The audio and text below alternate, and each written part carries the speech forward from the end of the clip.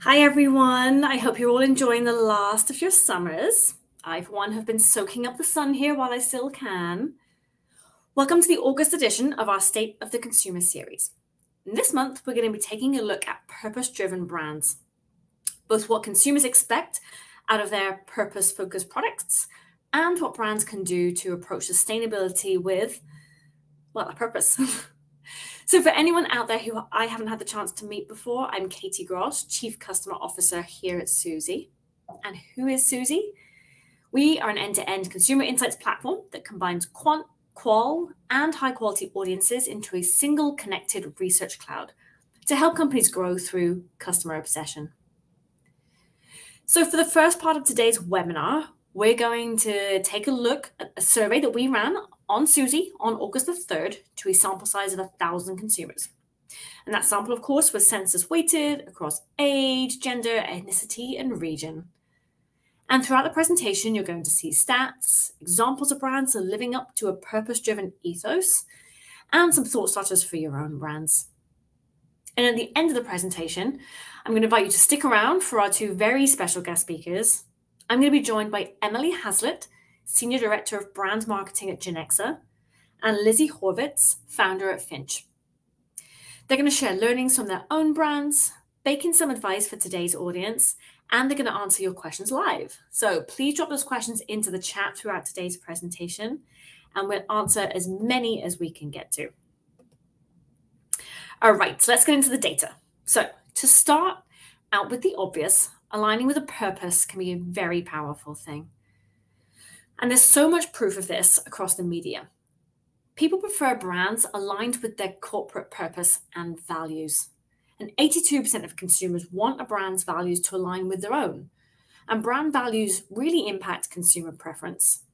And there's so many articles on this and studies that can attest to exactly this topic.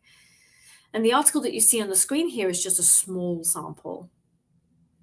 And since 70% of consumers are more likely to purchase purpose driven brands, it is important for brands to consider how they align with purpose.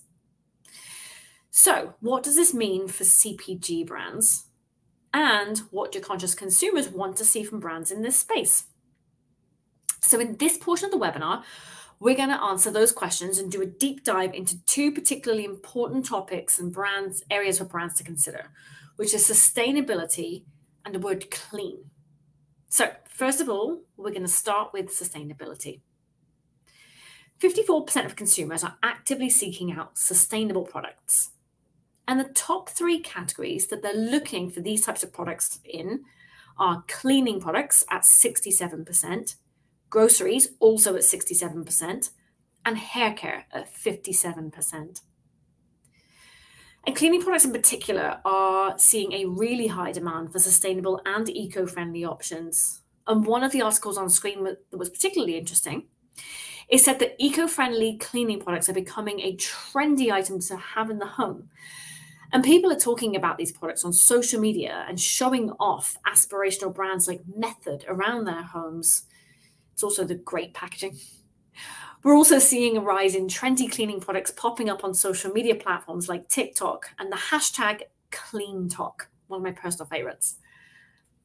So, when it comes to why people want to shop sustainably, there are loads of reasons. So, let's dive in.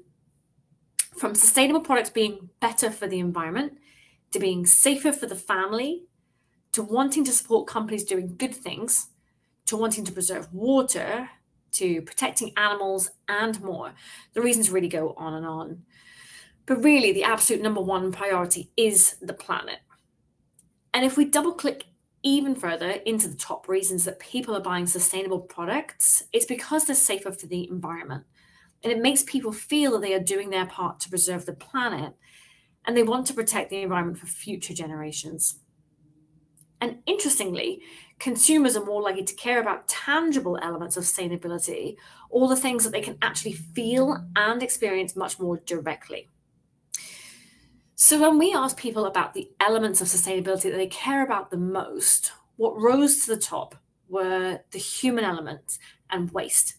So, people are most concerned about both products being safe to consume and the type of waste that they're then going to produce. On the other hand, things that really fell to the bottom were water and raw materials. So, how much water and fossil fuels go into actually making the product was really not that much of a concern, likely due to a lack of knowledge or a lack of understanding. And what's interesting here is that the elements that consumers were least concerned about are the parts of the production process that happen well before items even reach the buyers. And what this means is that consumers are more interested in the impact a product will have on them and what will happen to it at the end of its life. And they aren't as interested in how it was produced because they, since they didn't really see that part, they may not feel as responsible for it. So our thought starter here is that brands should focus just as much on products' future as they do on the past and how it came to be. So often we see things like made from recycled materials and other similar messaging. And while that's of course still incredibly important to sustainability efforts, consumers are asking more so what's going to happen at the end of the product's life when it's time to get rid of it. And a good example of a brand that does this really well is Sprout. So they've developed the world's only plantable makeup liner. Where there are other brands that have, may have liners made out of recyclable material, sorry, recycled materials, or offer messaging around ways uh, to sustainably dispose of the products, this liner has a simple instruction: just put it in the ground and plant it. And giving consumers a tangible way to be sustainable is important because shopping sustainably really isn't easy. One of the most difficult things about shopping sustainably is trying to find genuinely sustainable brands. So, when we looked at the data, this was the number two thing that people found most difficult about shopping sustainably behind just cost.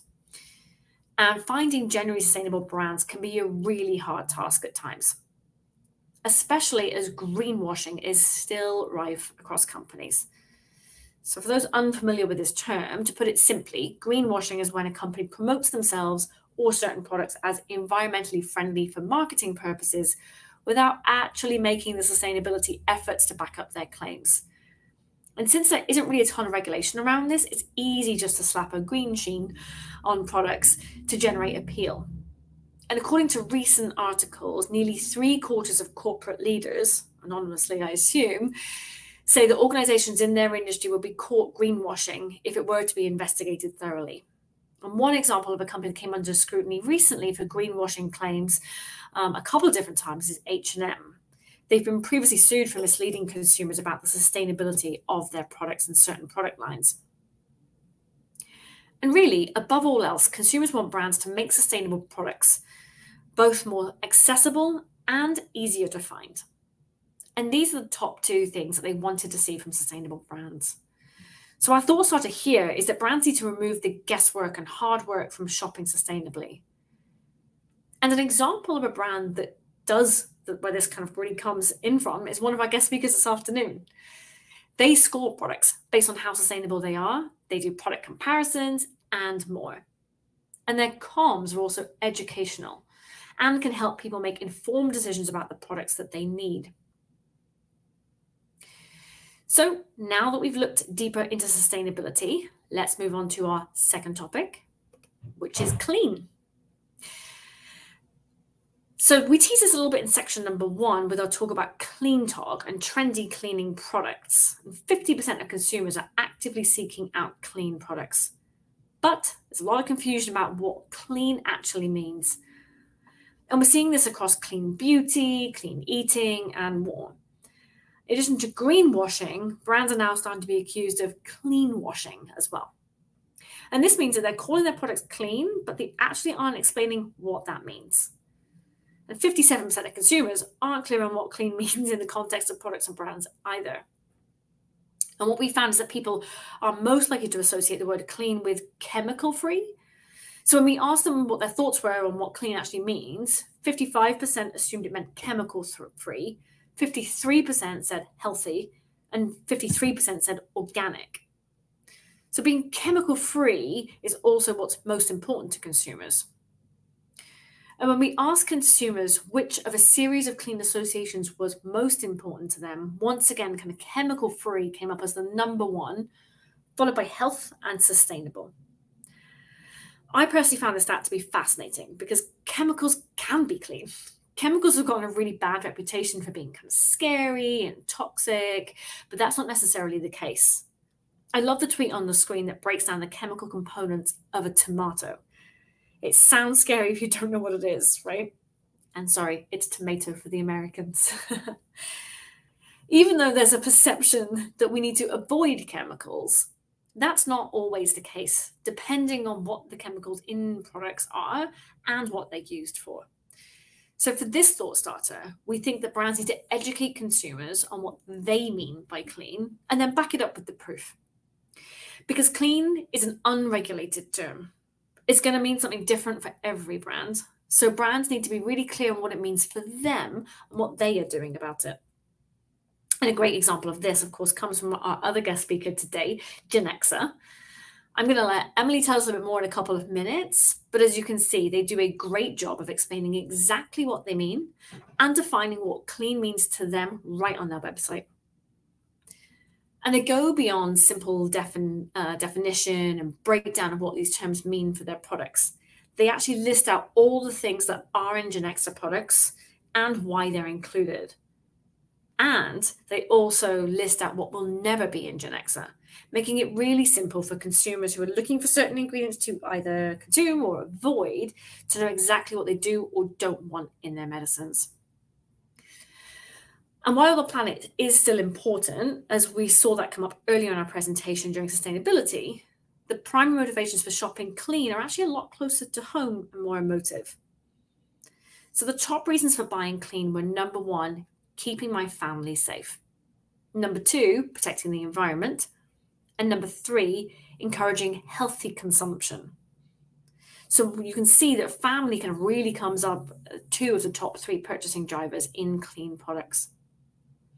So our final thought starter is that clean brands should connect on the emotional level and show that their purpose is to protect consumers' families. And really, what's more powerful of a purpose to do than protecting families and really keeping them safe? And once again, we can see Genexa leaning into this in their communications and their social media. They have a lot of parents giving testimonials, talking about why they want to give it to their children, why they want clean medicine, and how they don't want those unnecessary dyes, artificial sweeteners, and more. So, in conclusion, consumers want to see tangible elements of sustainability and they care more about the waste of a product than what the cause might be and how it's produced. So brands should really focus just as much on the product's future as they do on its past and how it got here and came to be. Also, consumers say the worst thing about shopping sustainably is finding genuinely sustainable brands. They wish those products were more accessible and easier to find. So brands need to kind of remove that guesswork and that hard work from shopping sustainably. And for clean, there's confusion around what clean really means. Most consumers associate this with being chemical free, even though chemicals can be clean, like the tomato. So, brands need to educate consumers on what they mean by clean and then back it up with the proof in order to avoid any kind of accusations of clean washing. And motivations for buying clean products are close to home, with family safety being consumers' top priorities. So, brands should connect on that emotional level and show consumers what their purpose is in helping them protect their families. So, with that, I'm going to bring on today's extra special guests, Emily and Lizzie, to help us unpack what this means for brands. And just a reminder, please drop any questions into the chat box um, on your screen, and we'll answer as many as we can as we get to them today. Fabulous. All right, well, welcome to the virtual stage. Um, let's get to know each other a little bit better. So, Emily, we're going to start with you. I'd love for you to tell the audience a little bit more about yourself um, and your background. Sure. And first of all, thank you so much for having me. I'm so excited to talk about this topic. So, I lead brand marketing at Genexa, which is the first clean medicine company. So, what that means is we make medicine with the same effective active ingredients as other brands, but without any artificial fillers. And this has been something that's been really important for me. I've always been interested in social impact and really began my career focused on health nonprofits and realized that that model of fundraising and providing programs and services wasn't sustainable. And so I started to pursue options to drive both social and financial returns. And luckily was able to join Genexa at the very beginning before we even had products. And today mm-hmm. we've created a new category, clean medicine, which didn't exist before. And it's been amazing. Fantastic. We all love your products, Emily. And Lizzie, would love for you to introduce yourself to the audience. Well, to echo Emily, thank you so much, Katie and Suzy, for having me. I'm excited to talk about this as well. I have been in the sustainability space since I was 16, um, really passionate about climate mitigation in the private sector specifically. So, after I got an MBA and a Master in Environmental Management, I worked at Unilever, both in their supply chain and on their sustainability team. And I found this frustration with both friends and family, but also companies, that it was really difficult to cut through all of this greenwashing um, that you've been describing so well. So, I started Finch to cut through this greenwashing and give accessible real time data for everyday products. So, Finch provides data solutions for CPG sustainability. We've scored 1.6 million products in over 160 product categories, and then provide expert product analyses, transparent scoring, and then faster, better data for companies that want to set goals and, and measure progress towards sustainability targets. That's awesome. All right, so we'll start with our first question. Nice and simple. What do you think it means to be or to have a purpose driven product? And Lizzie, we'll start with you. To me, a purpose driven product is one that's made sustainably, simply. And my definition of that would be manufacturing a product in a way that meets the needs of our current population without compromising future needs. Um, when using that definition, it can be pretty all encompassing. I don't think a purpose driven product necessarily has to have a second purpose besides providing utility to consumers and shareholders, like Bombas Buy One Give One or the Dove Real Beauty campaign. Those are fantastic, and we love to see when that happens, um, but not necessary. Mm-hmm. Yeah, and I agree with that. Definitely. Oh, sorry. Go ahead. No, I'm looking to you. Tap onto that. I think that purpose sometimes can be twofold. So again, you providing utility to the consumer, but also the product is built inherently with that business model and impact model in mind and can scale. So, as we mentioned in that presentation a few minutes ago, consumers are interested in the waste that products do or don't produce. Um, so, how are you thinking about the kind of the future life of products? And Emily, also, we know that you own your own products, and Lizzie, for those that you rate. Um, and Lizzie, we'll, we'll kind of start with you again here. Sure. When thinking about waste, I think it's really easy to think strictly about end of life, but it actually includes so much more than that, really starting with how a product is designed and then continues all the way across the value chain. So we account for a lot of factors ranging from you know how recyclable are the materials that are used? Do they have a buyback program? How likely is it that this product will end up in our waterways or sit in our landfills for centuries? You know one example is that for most conventional disposable diapers they don't decompose for 500 years. So thinking about the fact that the diapers our grandparents were in are still in landfills um, kind of makes you rethink the whole waste idea. Yeah, that's a crazy thought. Emily, what, what are your thoughts here? Yeah, I'm shocked. um, you know, OTC medicines are, when not properly disposed, can also end up in landfills, and when they're flushed down the toilet, can end up in our wastewater sources as contaminants. And so, one of the ways we're thinking about the future of products is by creating a drug stewardship program that aligns with several states' recycling standards so that we can safely recycle and dispose of medicines at no cost to the consumer. So, it's still in the works for us, but um, I'm excited to share more about this priority in the future. Yeah, that sounds fantastic. Um, for the both of you, what do you personally look for when you're looking for sustainable products? And Lizzie, we'll go back to you again. I think what I personally look for is is really aligned with what we do at Finch, which is scoring products based on six different footprints. So that's climate, water, waste, human well-being, raw materials, and ecological footprint. So just juxtaposed with what we were saying about waste, while it's great to think about waste factors of a product, it's also important to not forget other impacts, right?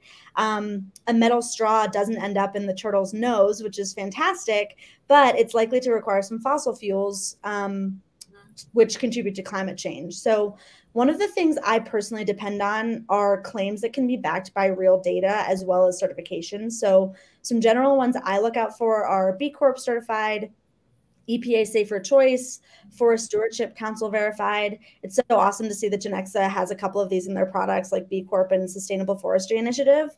Um, there are tons of specific ones depending on the product category you're looking for. And Finch is a great partner to, to sort of understand which certifications are meaningful and in what context.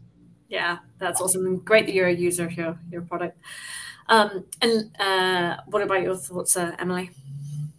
Yeah, I think the certifications make it really easy. And for me personally, simplicity first. If it's too complicated and I don't understand how this product is sustainable, it's going to be more difficult. It's if it's an obvious signal like, oh, I could reuse this bottle this way, or here's how to recycle this. Um, I think this company, Imperfect Foods, does a really great job of communi- communicating that to the users. So when you get your box of produce, you open it up and they tell you exactly what to do with the ice packs, with the wraps, with carton. So that makes it really easy for consumers like me to close the loop on the on the company's sustainable mission yeah, it's so key. I have the three trash cans, and I'm often kind of like, I'm not sure which one it goes in.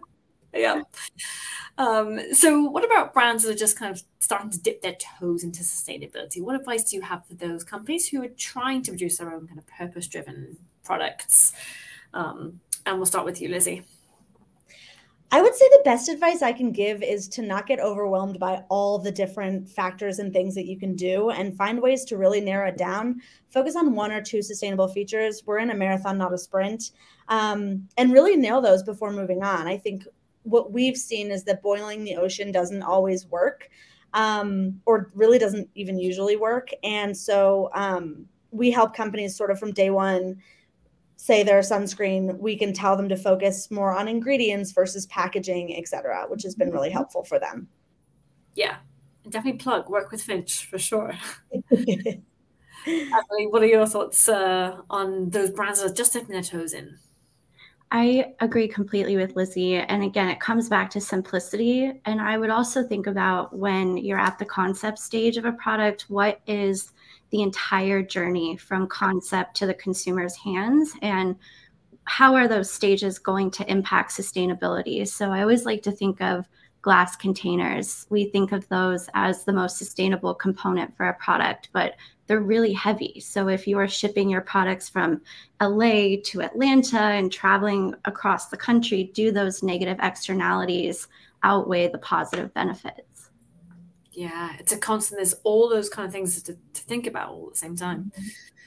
Um, and thinking about kind of when we're making those or when consumers are making those purchase decisions and at, that point of purchase you know we talked a little bit about the word clean being unregulated um, and any product can just have the word clean um, but how can consumers really cut through that noise and, and find those products that really do meet their clean criteria lizzie we'd love your help here this is really the reason I started Finch, as I mentioned. The amount of buzzwords that mean absolutely nothing continues to grow. And unfortunately, we're not seeing enough regulation in the United States. Um, green, eco friendly, chemical, chemical free, all natural, Katie, that you alluded to, are just a few.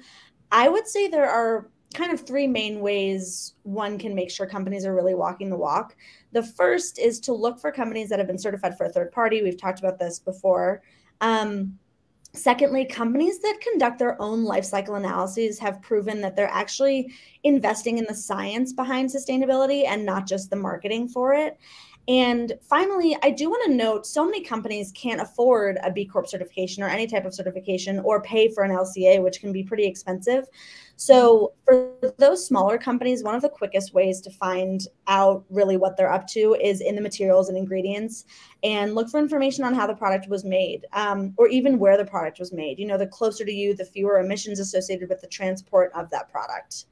Yeah, that's amazing. Um, and Emily would love to hear, you know, obviously this is a key category for you. Would love to hear your thoughts on the word clean. Absolutely. So, you know, clean is a largely consumer driven movement. And as you mentioned earlier in the slides, it can be a little confusing. And even those ingredients that are sciency and chemical sounding could actually not be how they're being perceived. Um, so at Genexa, we like to think of clean in terms of broader categories, kind of zooming out into things that are in medicine in the inactive ingredients, such as dyes, sweeteners, preservatives, flavors. And so once you familiarize yourself with those categories of ingredients, when you turn over those labels and start to read them, it's much easier for you to decide for yourself what is a natural or organic ingredient versus what is a synthetic or artificial. So I think the definition of clean will inherently vary across categories because what you put on your skin will differ from what you ingest in food or medicine. So there are already steps though being taken that I think are really great and one of those is through partnerships with the retailers. So if you're a Target shopper or a Whole Foods shopper when you walk into those stores, they make it very simple for you to identify what is Target clean or you know that Whole Foods has a list of ingredients they just don't allow. So I think that the retailers are also helping consumers kind of understand this new concept, but it does, it is a little obtuse. Yeah, I think it's that, that trust and transparency is so important. Definitely. Um, so our data found that consumers are purchasing clean products with their family's safety in mind. So let's pivot a little bit from the science over to kind of the emotions behind it. How do you think brands can connect with their consumers kind of more on that emotional level? Lizzie, we'll start with you again. I would say one way that it doesn't work to connect is using scare tactics. Um, I think you know the amount that we hear about aluminum and deodorant disrupting your endocrine system and things like that.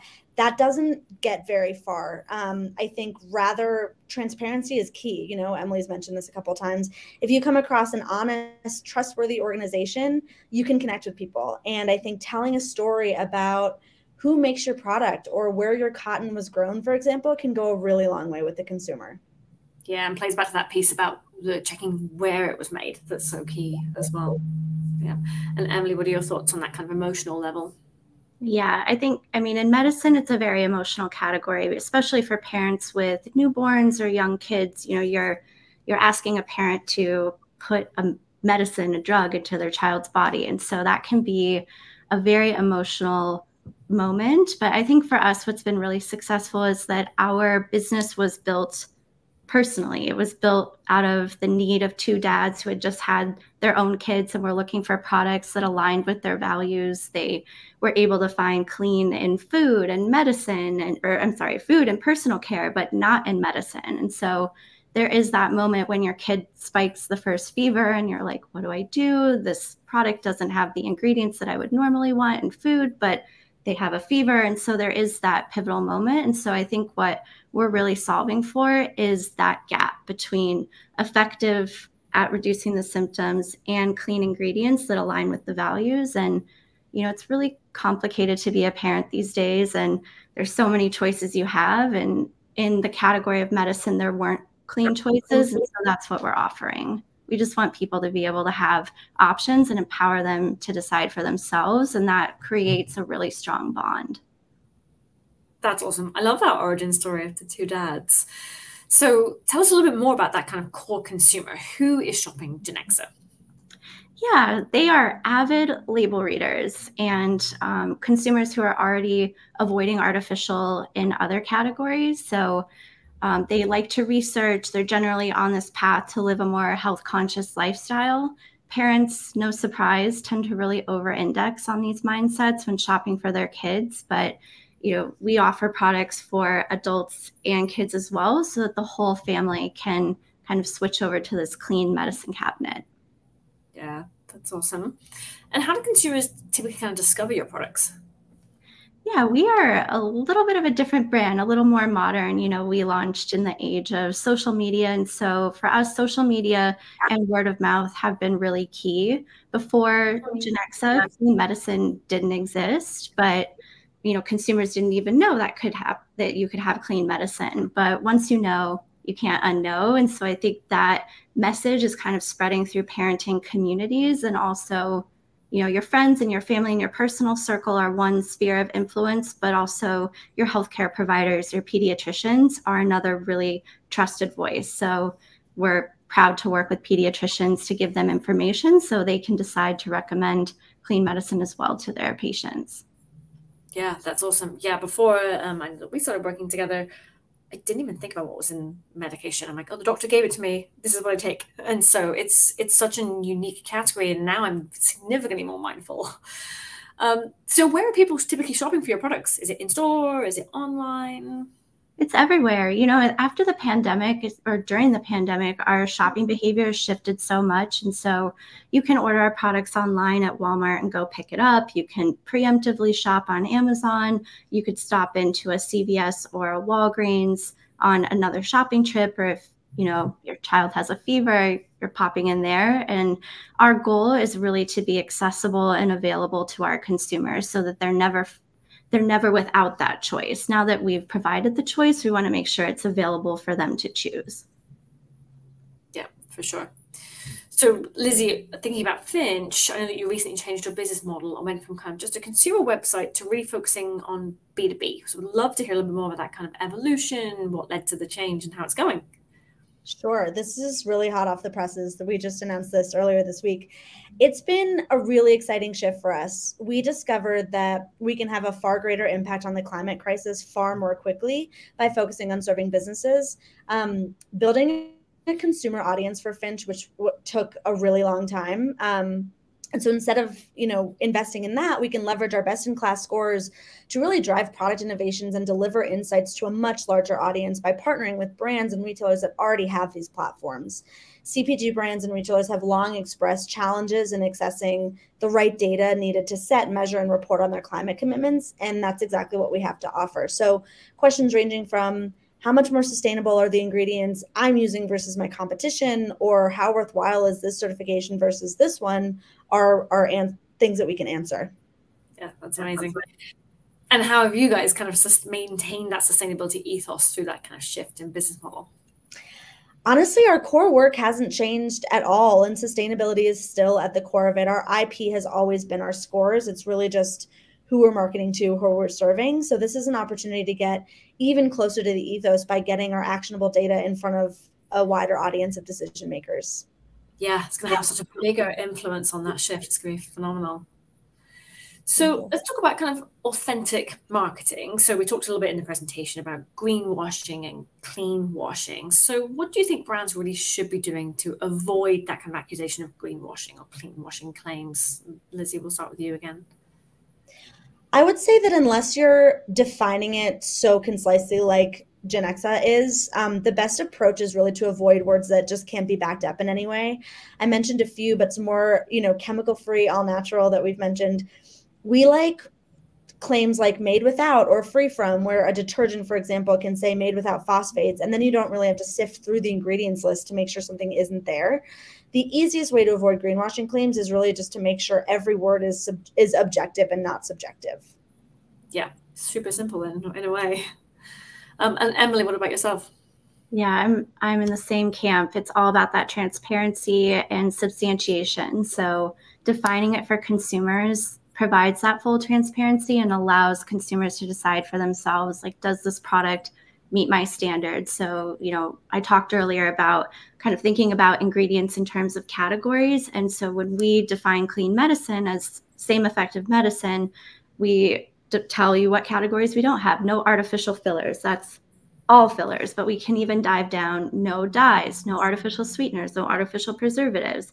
We could even dive down a step further and go through all of the ingredients, but the point is that we're able to substantiate what we're saying. And I think that provides the transparency consumers need to make that decision. Yeah, for sure. So, how important do we think that kind of the packaging claims are when it comes to green and clean? Lizzie will uh, obviously you've done a lot of research here. I would say real estate is so limited on a package that what companies decide to say or show is incredibly telling and important. Placing a third party verification logo is a lot more meaningful than just using a buzzword. Um, I would also say don't be fooled by green looking packaging. It's been amazing the research we've done that show that consumers are more drawn to an earthy brown package, even though they're just seeing a color, right? Um, or something that has an image of the planet. It doesn't mean it's anything special. Yeah, for sure. Just green packaging with some plants on it, and I've been fooled in the past for sure. Um, and Lizzie, do you factor in brand labels and marketing when you're doing your rating scores and rating those products? Really only if we can meaningfully back them up. We would never take a phrase into account like eco-friendly packaging. Um, for example, we don't score medicine yet, but if we were scoring Genexa, we wouldn't account for their medicine made clean label. But looking at their certifications and their materials and ingredients list, I'm confident they would score highly. Yeah, that's awesome.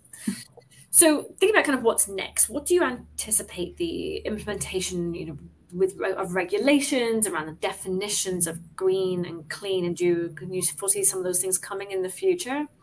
Lizzie, obviously, this is again key for your area. I do see it coming in the future, but not fast enough. It's happening in the EU with really exciting greenwashing regulations, and the US is normally five to 10 years behind this type of um, action. Mm-hmm. I'd love to not have to wait for government regulation, but rather find a way for companies to all be working off the same playbook when it comes to this. I remember a specific conversation I had with Allbirds when they were starting to put carbon footprint on their um, on their shoes publicly and I'm paraphrasing here, but they said, imagine walking into a grocery store and seeing that the only thing with calories or nutrition facts was on the butter, was on one butter brand, right? That's mm-hmm. really not helpful when trying to compare products. And so Allbirds and other companies are taking it upon themselves to label, but still really using their own methodology. This is happening in makeup with Clean by Sephora and Credo Clean Beauty. They're using different measurements. And so Finch is really working hard towards driving the standardization of this. Yeah, absolutely. It's interesting because in the EU, we're obviously very strict on food packaging as well, with mm-hmm. calories and fat content and percentages and color coding, labels, and so on. A friend of mine just came to visit me here in the US and she was really confused even by some of our kind of food labeling. She's like, wait, what's the serving size? Is this too much? Not enough? What's the percentage? And so it is, it reminds me of kind of the, yeah, the food packaging. If we didn't have those claims, we, we really wouldn't know. Um, Emily, what are your thoughts on the, on this area of regulations and what could be regulated in the future? Yeah, I mean, I think what Lizzie just talked about is very exciting. This is a huge gap area, and I think that it could be filled through government regulations or through third parties. So, right now, there is no kind of standard certification for clean or for green. Um, but this would set clear standards within categories. It can differ between beauty, medicine, food, etc. But I think it sets a bar that allows everyone kind of a, a even playing field and then adds that layer of trust and authenticity. Yeah, for sure. And I think while we wait for kind of government regulations to come, you know, consumers really vote with their wallets. So we'll definitely start to see that that shift. Obviously, you know, given some of the data we saw, it's incredibly important to consumers. So what do you think is going to be the next big trend in this space, Lizzie? I think it's this. I think what, what we were just talking about, it's this consistency above among product categories um, with how they measure sustainability and impact. Yeah, great. And Emily? Um, I just see that there's still opportunity to continue expanding sustainability and clean into other categories. So I don't think we're done yet. We started in food, beauty. I'm probably getting the order wrong, but food, beauty, personal care, now medicine. But there are still so many categories ripe for disruption. So I think in the next 10 years, this will really start to become the thing. Yeah, for sure. I can foresee consumer electronics potentially coming up at some point. I did see a question actually from the audience that did actually ask a little bit about this, which is how do consumers feel about plastic neutral certifications? Lizzie, is there any data you have there? I don't have data off the top of my head. Um, we don't incorporate it into our algorithm. I don't think that necessarily means it's good or bad. Um, it's just there are so many certifications out there. Um, that's not one that we've that we've explored deeply. Yeah, and just while we're kind of on that regulation piece as well, another question from the audience um, is: is are there any regulatory organisations out there regulating clean claims in any other countries that you're aware of? Not that I know of, Emily. Have you heard of any? No, I don't know either. Goes to show we have a long way still to go, for sure. Um, so, speaking of that, what is that one thing that you hope changes when it comes to purpose driven brands, Lizzie? And it sounds like maybe a plastic regulation. plastic regulation would be great. Yeah. Again, I am not hopeful for the government, unfortunately. And so I would just love to see companies take ownership of their social and environmental impact and become as transparent as possible. That's really table stakes for any brand. It's not just purpose driven ones. Yeah. Yeah. Um, and Emily, what do you uh, what, what do you hope to see? Yeah, I think just like with clean and green purpose, there is a risk that purpose washing, I have I don't even know if that's a phrase yet, but that purpose washing could start to occur. And so what I would really love to see is more purpose driven brands banding together to scale their impact so they can still remain competitive in their categories and achieve strong business goals. But when it comes to impact, if several brands share the same objectives of sustainability or helping people or even helping animals, that they would band together in ways that could scale that impact further. And I just think that that would be amazing because I don't, what I don't want to see is for brands to say, oh, you know, purpose driven brands, they drive mm-hmm. higher profits. That's what people are really globbing onto. And then for that to become an area of risk as well. Yeah, for sure. So, what do you think is an action that everyday brands can take to make their brands kind of more purpose focused, um, Lizzie? I think simply it's to be exceptionally data driven and make your decisions strictly around what the data is out there and what your own product data is saying. Yeah. And Emily? I think it's all about listening to consumers and putting those insights into action. So these movements are driven by consumers. They're telling us what they want and what they need. And so, you know, if brands are listening, they're on the right path. Right, right, for sure. So we have a lot of questions from the audience I'm going to ask, and actually it kind of ties into that topic. So consumers indeed are saying, and we're seeing it in the research, that they care about sustainable and safer products. Um, but do you have any data or are you seeing any data that shows that they're actually converting to purchasing these products versus other options? And obviously I think Genexa is a good example of where it didn't even exist as a category previously. Is there other data that you have?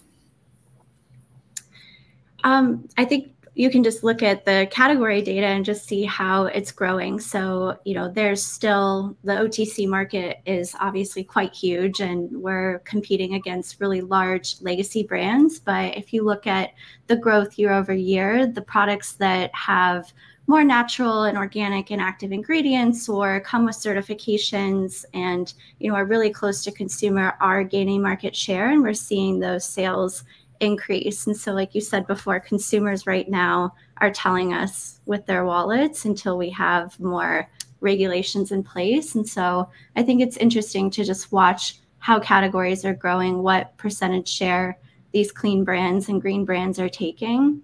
And it's pretty telling. Yeah for sure. Um, a lot of the people in the audience were shocked by the diaper stat. So, and the thought of my grandparents' diapers is definitely in my head and will not leave. Um, so, what do we think we can do around that kind of recycling education to really help consumers understand um, that kind of, you know, that how long different products do take to break down? I think recycling is especially challenging because it's so driven by the municipality, right? Um, I wish that there were a federal body that could say, here's what you can recycle and here's what you can't. But, you know, between my town and the town next door, there are some that recycle pizza boxes and some that don't. And so, because of that confusion, it's really difficult. And so this is a perfect example of really starting on the local, hyper local level of spending 15 minutes just calling your town, looking at the website, and figuring out what's happening um, in your sort of micro environment. Yeah, yeah. This reminds me, um, small personal story of my childhood in the 80s. I have twin brothers who are younger than myself. Um, my mum only used towels, so we didn't have disposable diapers, and that washing machine was going every minute of every single day. We didn't have a dryer, so all the towels were hung on the washing line in our backyard. So all my childhood photos of me in the backyard playing around have all of these kind of homemade diapers that are hanging uh, hanging up there. That um, a little more sustainable, but indeed it was the washing machine that was having to go kind of non-stop all day as well exactly and that's a perfect example of you know it's super helpful from a waste perspective but when you think about the water used and the energy to drive that washing machine when you're changing twins oh my gosh 20 times a day um, yep. it's pretty meaningful right and i was two when they were born so i was probably still in diapers myself as well if we had a dryer it would have been energy costs through the through the roof for sure. sure. Um, great question from the audience, which is how does the recent push for employees to start returning to offices impact the environment? And do com- commuters use more kind of one time use products and plastics for packaging of food than when they're working from home? Is there any data around that? We did a blog on this a couple of years ago, and it was so fascinating. Where, in fact, we found that working from home actually was more detrimental for the environment because when you get the freedom to work from home, people were moving out of New York City when they were taking the subway, public transportation, moving to places like Vermont where they needed to have a car and have a bigger house instead of an apartment. Um, they needed their own office equipment as opposed to using the economies of scale of an office. And so that was the last sort of research that I did on it, which I found fascinating. And I'm not sure if the implications would be reversed as as we go back to the office. But i i do have to think that it's probably a good thing. Yeah that's i didn't even think about that. And again as i think about it my work from home i have the ac running all day when i work from home. Mm-hmm. and if mm-hmm. i'm in the office everybody's benefiting from the ac and so on. Right. It's really interesting that's kind of you know flipped on its on its head of the way that i think most people were thinking. Um one question came from the audience again really important topic is we'd love to hear um, you both talk about the interaction between that kind of accessibility in terms of price and sustainability and clean. So it definitely does seem like a lot of clean sustainable products are way more expensive. So what are your thoughts on kind of the future of, of this area? Yeah i think that is a perception and there are things that brands can do to align their pricing with their consumer and not make them astronomical. You know you can purchase genexa products at walmart alongside store brands or other legacy brands and you won't find that the price is that astronomically different. Um, but i do think it comes back to scale. So you know having access to more sustainable and clean ingredients and being able to share that scale with other brands could help drive prices down. And i also think what isn't seen is necessarily the profit margins of companies whose products are cheaper. So while it is more expensive to make clean products it's I think those brands are really doing what they can to make sure that it's still accessible for consumers and the products that appear much cheaper there is, I suspect, a large margin at play. Mm-hmm. Such a great answer, Emily. And I would add, I love this getting this question because I always ask back more expensive for who, right? For the end consumer, sure, maybe you're spending more money. Um, but when you look across the supply chain, how the farmers are treated, how the manufacturers are either getting exposed to harmful chemicals or not, um, there are a lot of negative externalities that come with selling a t-shirt for $20 as opposed to $60 and so um, obviously this is focused on the consumer and we like to see accessible and also sustainable products. Um, it also means that that generally the workers are treated better along the way when things are more expensive. Yeah that's a really good point. It's better cheaper for whom or more expensive for whom for sure mm-hmm. Um, another question came from the audience is, you know, I feel like a lot of larger companies are trying to make really honest efforts and make positive, although, you know, albeit kind of incremental changes. Um, they, of course, are trying to adapt older products and they lack that nimbleness of a startup who's starting from scratch. So, with that said, kind of how do you define when those companies are greenwashing and where do you kind of really draw the line for companies who are really trying but uh, could potentially be accused of greenwashing? And Lizzie, I will start that with you. Yeah, it's such a good question, but a tough one to answer. I think I generally like to look for companies that have actually done or made progress and been honest about that progress. I love nothing more than when a company says we had a goal to reduce our emissions by 30%, we only reduce them by 20%, as opposed to in the next five years, this is what we will do. Because really, that doesn't mean anything. It's like you can say whatever you want. It's it's did you meet these goals or not? Um, and then looking at you know there are little tricks that i used for for unilever for working at a large company um, how many third party logistics companies are you working with where that's not being incorporated into your footprint um, things like that where you really get get can get down to the nitty gritty and and finch does a lot of that hard work in the back end um, so that other companies and retailers don't have to yeah i think that's really interesting around the idea of transparency and what have you already done? What do you still have left to do? I think greenwashing is really when that isn't included in the conversation and that transparency isn't there. So if a, a, brand were to put out a product and just say, it's clean and not really back it up with that definition, not really talk about what is what is your definition of clean, or if they're like, now it's sustainable. Well, if only the outer carton is sustain, you know, I think it, it just requires a bit more transparency around the definitions, the steps that have already been taken, and acknowledging what's still left. Yeah, yeah. This reminds me a little bit of working in food and beverage in the UK. There would start to be products that said twenty percent organic. I'm like, twenty percent organic. It's, yeah. But I think in this case, it's really it. Uh, Lizzie, I really liked your example of we had a goal of thirty percent. We're only at twenty, and that's okay. We're at twenty. That's better than zero, and we're making we're trying that. And that transparency um, is really key um, for some of those larger brands. Amazing. All right. Well, I'm going to thank Emily and Lizzie so much for being wonderful guests today. It's been amazing to spend the last almost hour with you. I want to thank the audience as well for taking the time to listen to us today, for all your questions and interaction. It's been a phenomenal conversation. We will make sure that we share the recording and the deck with you all afterwards as well. And we hope to see you again next month. Thank Thanks you so much. Thank, Thank you. you.